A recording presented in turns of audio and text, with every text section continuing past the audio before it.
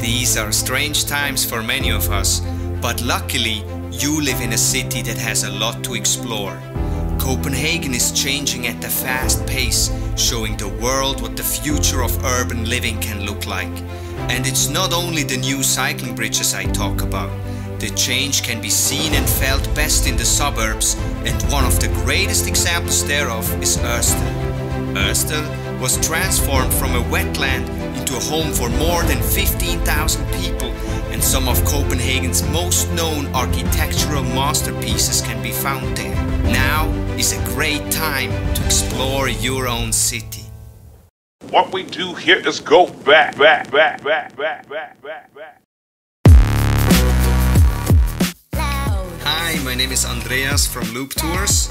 We are a cargo bike tour company and we think that exploring Copenhagen is best done with Christiania bikes. I must admit that lately we haven't really had the chance to do a lot of tours and so instead we are now renting out all our super comfortable, fully electric Christiania bikes.